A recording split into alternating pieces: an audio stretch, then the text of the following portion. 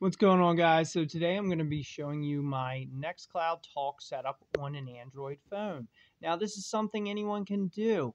If you want to host Nextcloud and you want to do it in a more private and secure way, self-host it yourself. Go ahead and self-host it yourself or do as I do. I actually have a trusted friend who actually hosts it at a location where I'm the only one with physical access to the server. And so I know that I'm the only one who can modify that server.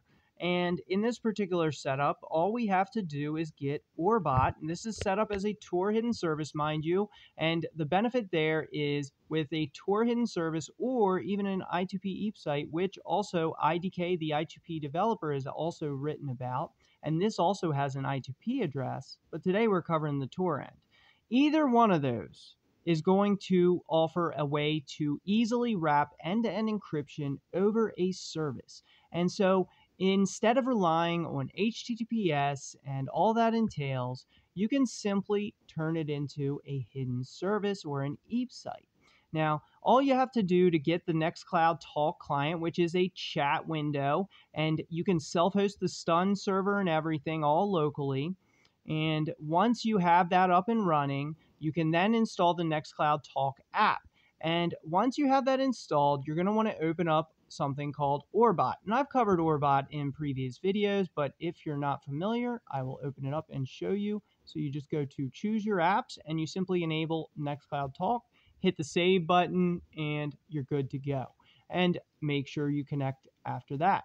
Then what you'll want to do is open up the Nextcloud Talk window. I already have it logged in on mine. So I'm going to show you what you would see if you were to do this on a brand new installed Nextcloud Talk app. And I'm trying to be a little careful because I don't want to reveal too much information here.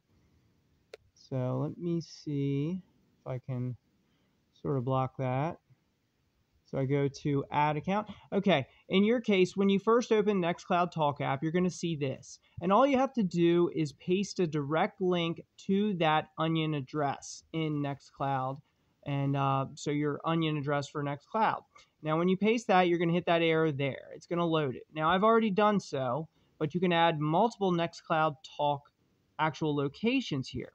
Now, this is a great option if you're looking for an app that can work like another instant messaging app where you control the encryption. Of course, the private key is going to be controlled by whoever has that server. So if you own the server and you have physical access to it, that private key is going to be important to keep private, of course, because that is your security.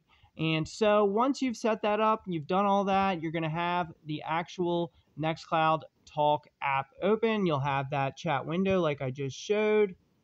And so I'm going to open that up again. Takes a moment to load because after all, it is a Tor hidden service. Uh, but it works rather well. So you can actually share pictures, you can actually share video files. And another cool thing about hosting Nextcloud as a hidden service or eepsite is you not only have that end to end encryption overlay, you can also share files and generate an automatic link for a secure and private file sharing. So, for instance, if I upload a file to my Nextcloud server here, I would simply say share that file. It will generate an onion link automatically for me. And so that's another neat thing that you can do is secure and private file sharing. So there's many different things on Nextcloud that you can set up, and there's many different options out there for self-hosting it, which I do recommend self-hosting, of course, because if you're scared of the word cloud, you probably should be. It usually is someone else's computer. So thank you guys again, all of you who share the videos, who like the videos, all of you in the comments. I see you and I appreciate you.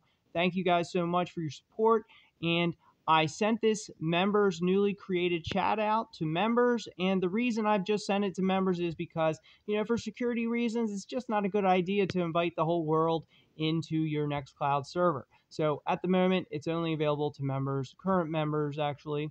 Uh, so I do appreciate you guys' support, whatever you do. If you like the video, appreciate that. If you have a question, I'm actually going to be talking more about self-hosting here shortly, and I'm actually preparing for that. And this was just one of the short videos I'm doing. Uh, I will be talking coming up more about self hosting, so stay tuned for that. Make sure to follow, share the video, let me know what you think in the comments, If you like this kind of thing, if you like self hosting, if you like open source intelligence investigations, if you'd like to see more of that, I like to know what you think. I mean, I can't promise I'll do it, of course. So, requests, you know, I read them.